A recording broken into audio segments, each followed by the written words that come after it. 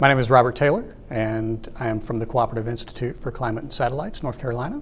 And today we did an activity um, showing the effects of climate change on bees and their pollination cycles. So this is a three-part activity. In the first part, uh, we did a control scenario where we were simulating a perfect world with no climate change impacts, and the bees had free reign to pollinate as many trees as they wished. To begin the activity, we divided the group into trees and bees. All of the trees were given a piece of just normal sidewalk chalk, and the bees were all given damp Q-tips. In order to execute the activity, the bees would leave the hive and go find the trees and rub their Q-tip on the piece of chalk to collect the chalk on the Q-tip, simulating the collection of pollen.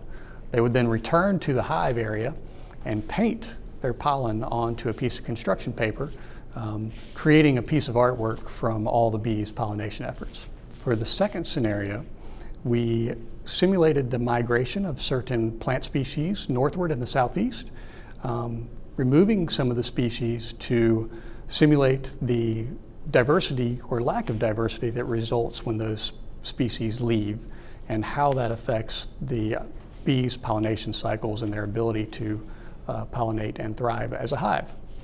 The trees that were holding red colored chalk were removed from the experiment.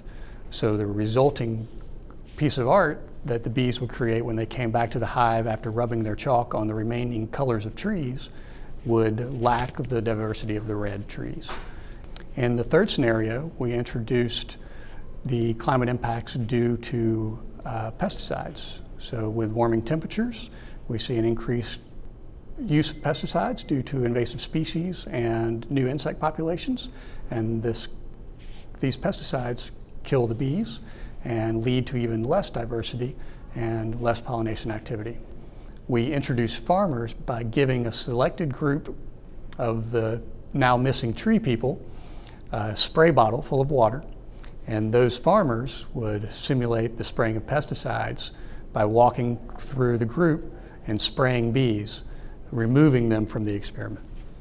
So this, this activity is important because um, pollinators in general, but bees specifically, are experiencing um, extreme impacts due to climate change. Their dormancy cycles are not lining up with the flowering of the trees, and it's limiting their ability to pollinate plants and to thrive as a hive. For kids, it's really great because who doesn't love pretending like they're a bee buzzing around or a tree blowing in the wind? And um, you can put, you can, you can allow the children to be in an open area and run around and really have fun. And, and so they learn about ecosystems, they learn about pollination, they get to pretend to be trees and bees and fly around and, um, and they get to create art all at the same time.